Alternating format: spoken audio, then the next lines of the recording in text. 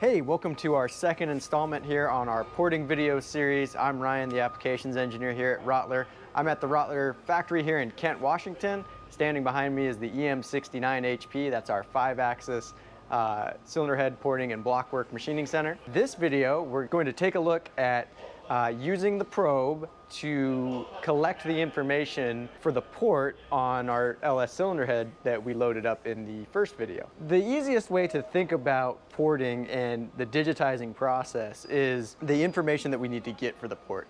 The port uh, has, you know, a, a start and an end point, and you have a section in the middle. You know, we can think of that section in the middle as probably where the sharpest bend is. So what we need to do to basically the first step is we need to tell the machine where the entrance and exit is and where that middle location is.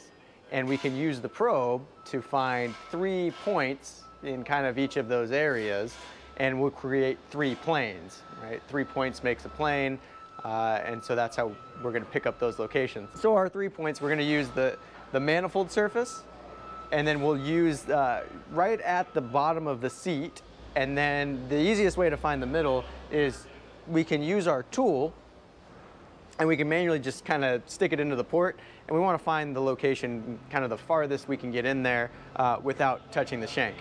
The easiest way to do this process is to take a marker and the tool and you can stick this in there and you can stick your, your marker in from the other side and you can just move this around and kind of approximate those three points and just make sure that you're not shanking out. And that'll get you close. Uh, and that way when you come back and, and jog the probe into the location, uh, you have kind of three, you can put three red dots and uh, that'll give you some visual references of where to be touching the probe. If I hop in here I'm just gonna go ahead and mark this up. So on my manifold, I wanna make just three points. So I'll pick kind of uh, two on either side of the port and you know one on the opposite direction.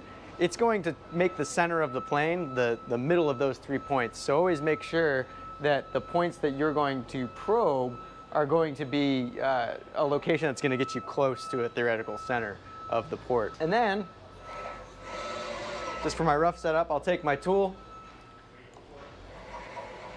and I'm just gonna stick in here and look at where about as far as I can get in. And I'll make three just kind of in different locations, positions with my Sharpie here. And then same thing for just below the seat, I'll make three red dots. So that just gives me a visual of where I'm gonna go and put the probe with the machine. So we'll start with the manifold side. And now what I'm gonna do is I've got the probe loaded in the machine.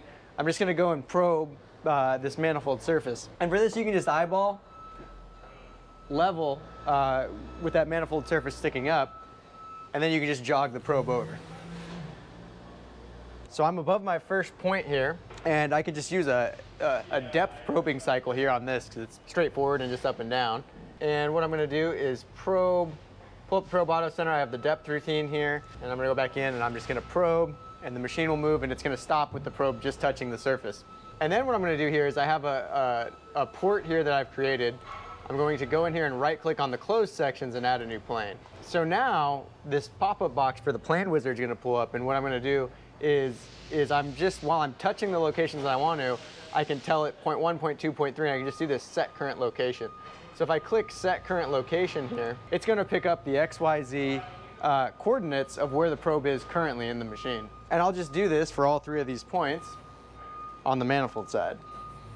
And again, I'll do a probe auto center, let it touch. That'll be point two and point three. So once I've got those three points filled out, I can press OK, and that's going to create my first plane. And so that's my manifold plane right there.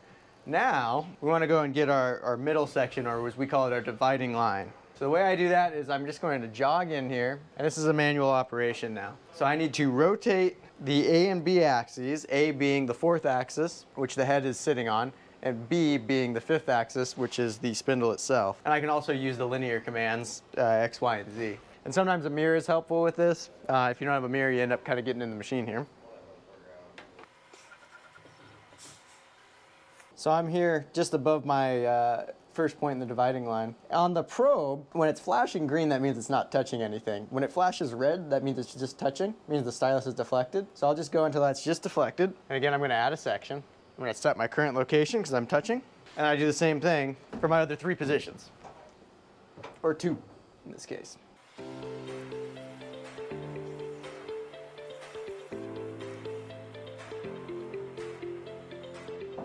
I'm just touching there. Set that as my second. And then I'm just gonna pick up my third.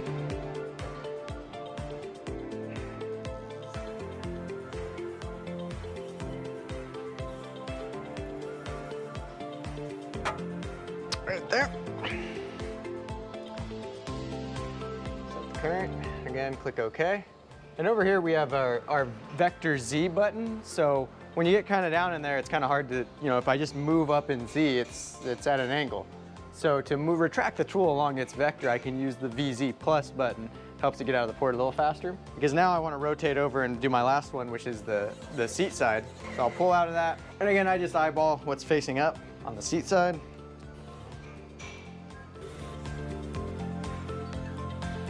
And again, I'll make another plane.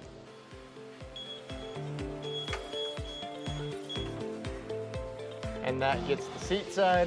I'm gonna track back out. So now I have three uh, main sections. I've got the manifold, I have the seat section, and I have our dividing section, which will be in the middle.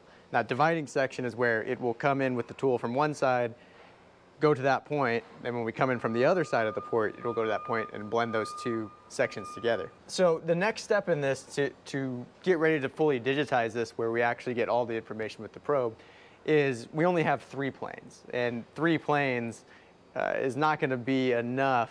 Uh, it's going to try and linearize between those three sections. So you would just get straight. That's not going to be an accurate port. So what we want to do is between those sections, we want to add more planes to kind of break up those cross sections. Somewhere between, you know, 11 to 18 planes total for a port usually works pretty good. And the way we do that is we need to go in here and create intermediate planes for probing. So what we do is we'll just turn on the manifold and the dividing line. We'll create our intermediate planes. Since that side's longer, we'll do, uh, let's do 11 on that side. And then what I can do is I'll turn off all these other ones that I've just created now. And then in between my dividing section and seat section, I will create intermediate planes and we'll just put five on that side. So now this has created our intermediate planes in between, and we can turn all these closed sections back on.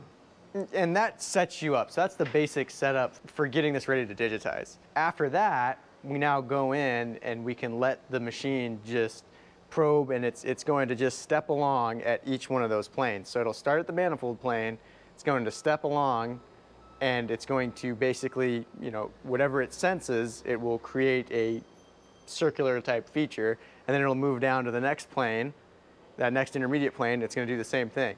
Um, we can control the spacing in that, we can, for how fine the resolution is, more points, more data, that's more accurate, it will take longer. Usually we do somewhere around uh, a 60, 50 or 60 thousandth spacing between the touches, and that gets you pretty good data.